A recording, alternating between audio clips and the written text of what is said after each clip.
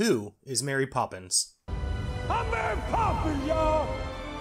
When I decided to do Mary Poppins month, I had no real knowledge besides what I knew from Disney. And even that, last time I had watched that was like 23 years ago, so even then I didn't really know a lot.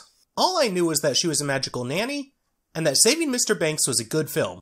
So I decided, what the heck, let's try to find out. And I do wish that this video could be on the books completely, but I am going to have to discuss the movie from time to time, as it is hard to separate common pop culture knowledge from any discussion on the stories. I'll try to keep it brief, but it will come up. There are six books in the main Mary Poppins canon. Mary Poppins, which was published in 1934, Mary Poppins Comes Back, published in 1935, Mary Poppins Opens the Door in 1943, Mary Poppins in the Park in 1952, Mary Poppins in Cherry Tree Lane in 1982, and Mary Poppins in the House Next Door in 1988. There are two additional books Mary Poppins A to Z, which is an alphabet book based on Mary Poppins, and then Mary Poppins in the Kitchen, a cookery book with a story. The art for all of these were done by Mary Shepard, who does an amazing job with all the art. However, I do have to say that I'm not a big fan of the children's model, but I think that might just be the part of me that is put off by Cherubin and the Campbell's kids. Seriously though, she does a great job with this art. P.L. Travers did originally want to get the illustrator from Winnie the Pooh, but when he was unavailable, she instead got Mary Shepard.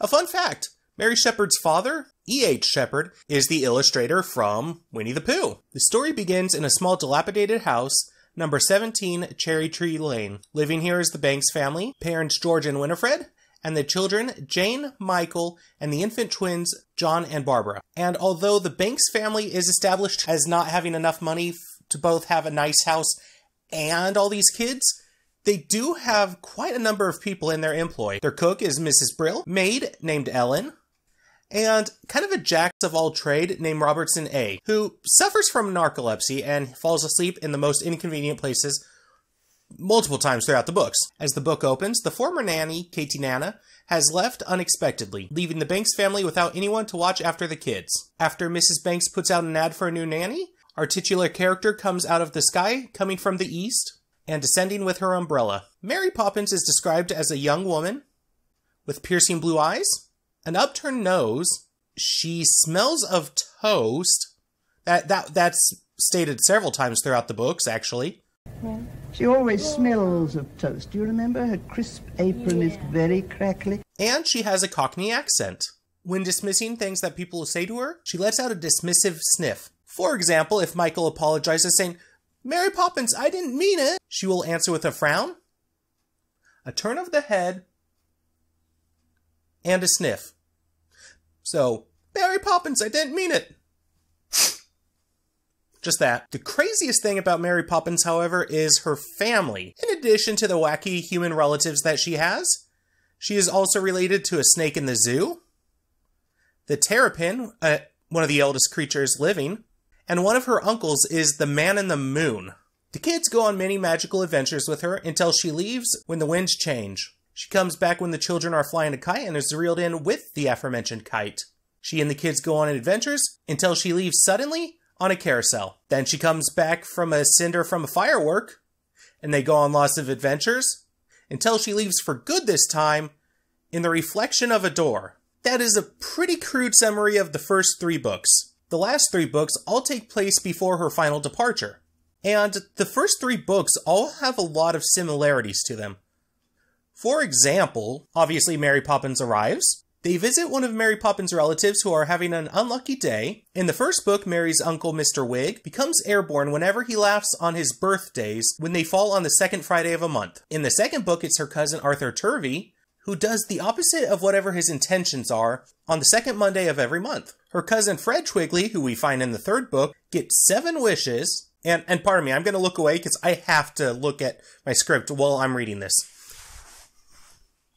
Cousin Fred Twigley, who gets seven wishes on the first new moon after the second wet Sunday after the 3rd of May.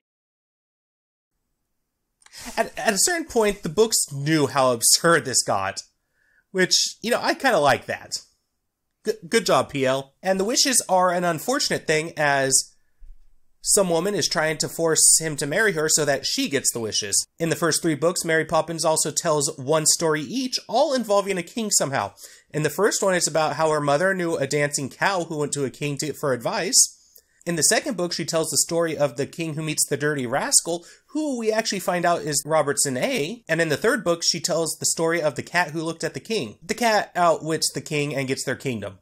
Cats are apparently very smart in this. Fourth similarity the kids attend some kind of fantastic celebration that humans normally don't get to attend. For example, in the first book, whenever Mary Poppins' birthday falls on a full moon, which we actually find out later that her birthday is November 1st, very fitting that I made November Mary Poppins month, although that was just a coincidence.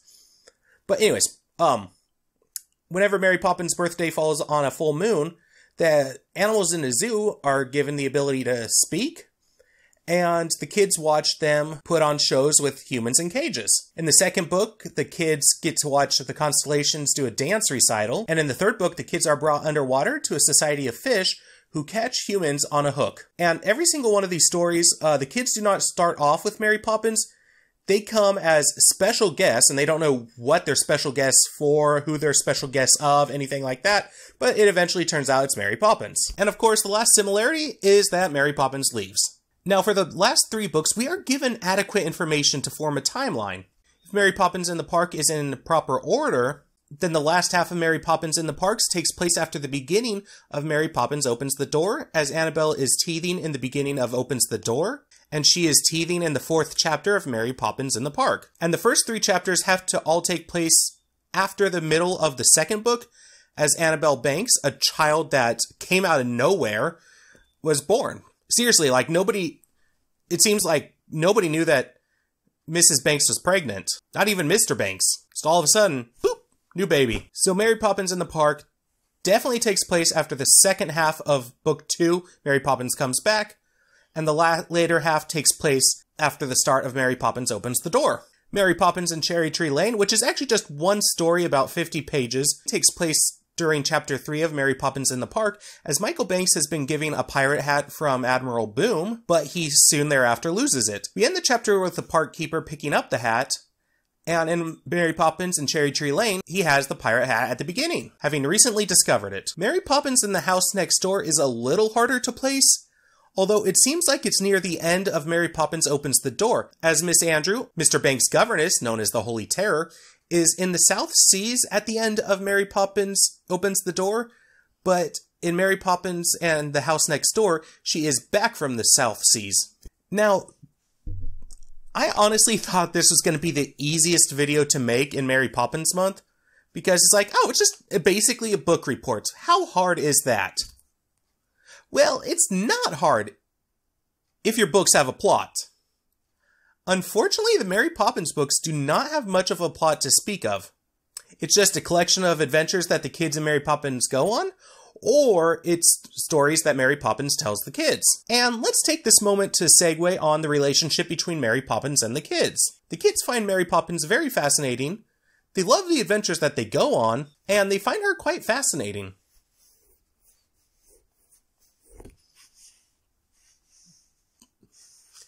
Mary Poppins, on the other hand, doesn't really share this opinion on the kids. When the kids talk about their adventures with Mary Poppins, Mary Poppins gaslights them, saying that the adventures never happened. And she gets a little angry that the kids would make such a suggestion. Usually Michael. Of course, the kids always do find some kind of evidence that their adventure with Mary Poppins did in fact happen. I do have to say that I found Mary Poppins to be, well, I found her to be a real a-hole while I was reading these books. In addition to being a chronic gaslighter, often making the kids question their own sanity, she is also a narcissist.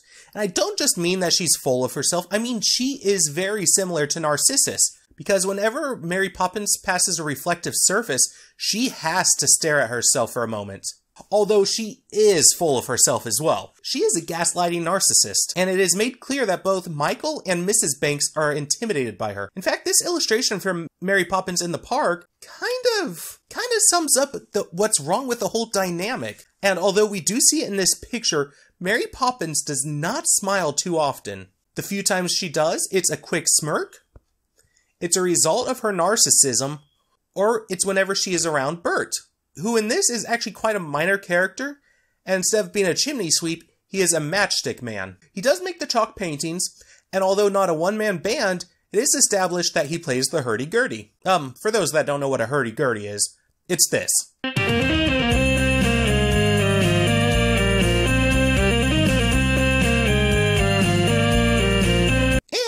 Guess since I'm on the topic of Bert, let's talk about characters. The primary cast of the book is the Banks family, their subservience, and after them, it's the people that are living in Cherry Tree Lane or whose business takes them around Cherry Tree Lane. One of their neighbors, Mr. Boom, is a retired admiral who seems to have a tick to work in sea shanties into normal conversation. He lives with his wife, a deckhand who is a former pirate, and his dachshund. The only other neighbor who has much prominence in this book is Miss Lark. Miss Miss Lark is a rich woman living in a wealthy estate next to the Banks family, and Miss Lark pampers her dog Andrew, much to his annoyance. The park keeper from the park across the street from the neighborhood isn't a fan of Mary Poppins and is often annoyed by her. Although he is kind of a grump at all times, often yelling at people to obey the bylaws and not to litter. And finally is the policeman, whose beat takes him through Cherry Tree Lane, and he becomes quite infatuated with Banks' family's maid, Ellen. One thing that's quite off putting about this book series, however, is the casual racism. As there are plenty of stereotypes in the adventures of Mary Poppins and the kids. In the chapter Bad Tuesday of the first book, Mary Poppins takes the kids on an adventure to the four corners of the earth after Mary Poppins finds a compass. North, they meet an Eskimo family. West, a Native American grandfather and grandson. South, an African family. And East, someone referred to as the Mandarin. And the depictions of the African group are the most uncomfortable. The way that the mother's speech is written, she sounds like Miss Cleo, and there's talk of watermelon. And in addition to those two points, they also use the other N word. But after they're done with their adventures, Michael takes the compass and decides to go to the Four Corners by himself. This time, however, all the people that they met earlier have become hostile towards them and are going to attack them. But Mary Poppins comes in and saves the day. Now, all modern versions of this book seem to have a modified chapter here. Instead of meeting people at the four points, they instead meet animals. And although I generally dislike when I get censored books, here it didn't actually bug me. The reason for that are probably because P.L. Travers herself actually was the one to make the changes. She decided to make the changes in the 1970s after it had been brought to her attention that the books might be a little insensitive. She personally disagreed with it, but she changed it anyway. Unfortunately, uncomfortable depictions in the later books were not changed. When the kids are acting up, she compares them to the Zulu, and when visiting the miniature park that Jane made while in the park, Parkception, one of the inhabitants of the mini park is taken away by an by an Indian looking for a now, I have stated that I find Mary Poppins to be quite a reprehensible character, and that's not going to change. However, she does have some redeeming qualities. Despite being an arc, she does rescue the kids whenever they're in need. For example, in Mary Poppins Comes Back, Jane is teleported into a scene depicted on a bowl, and when the inhabitants of the bowl try to keep her in the bowl, that, that's, that's a weird statement. Mary Poppins comes and rescues her from being kept there. So, despite being infatuated with herself, she will save the kids, although that kind of seems like bare minimum to me. What I find most redeeming about Mary Poppins, though, is her relationship with animals. In the first book's chapter, Miss Lark's Andrew, Miss Lark's dog Andrew, runs away, and when he comes back, he brings back a mutt named Willoughby, refusing to stay if Miss Lark does not allow Willoughby to stay. The whole time, Mary Poppins acts as mediator between Miss Lark and the dogs. And then in Mary Poppins Comes Back, in the chapter Miss Andrews' Lark, Mary Poppins sets free a lark that Miss Andrews has found and captured. And when Miss Andrew throws a stink about it, Mary Poppins causes uh, Miss Andrew to become stuck in the cage and be carried away. So she does seem to like animals. So good. Cool. Also, there's the whole she's friends with the zoo animals thing. So that's cool too. She is a bit antagonistic towards a starling that enters the nursery, although this is probably because the starling is kind of a jerk to the kids. The babies are able to understand the lark, as is Mary Poppins. The bird's a jerk to the kids. She also has a bit of a problem with the bird lady's birds, but that's probably because one of them steals a flower out of her hat. Oh, uh, by the way, the bird lady, um, she is the mother of the park keeper, and the whole bank run plot of the movie, that, that's not present here. In fact, the kids, it seems like, has fed the birds many times, and actually it was kind of like a, hey, you got to buy the bird feed last time. I want to buy it this time. In the first book, she only says feed the birds tuppence a bag. Later books, she a little more is added to her vocabulary, but that is still usually there. Now, again, I must ask, who is Mary Poppins? Is she a witch? I don't believe so, as we never see her with a wand or anything. We don't see her use any familiars. Is she a djinn?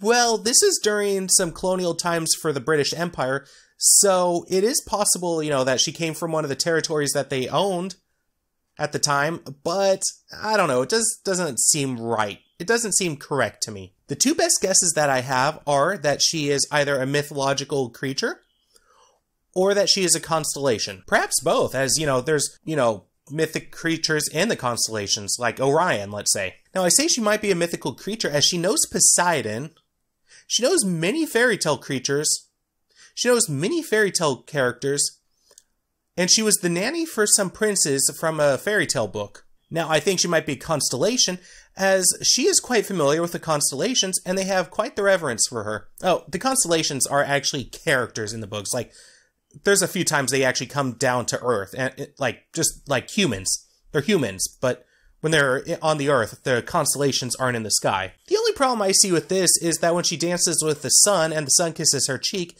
she is left with a bit of a red mark from the sun. So if she was a constellation herself, it seems like maybe a star shouldn't be able to affect her. But P.L. Travers actually did kind of tease that this might be a possibility. Pleiades were the uh, uh, the Greeks, the ancient Greeks, thought that they were seven sisters in the sky, and uh, that's why I wrote the story. And maybe Mary Poppins does belong in that world. Who am I to say? But it's a very good guess.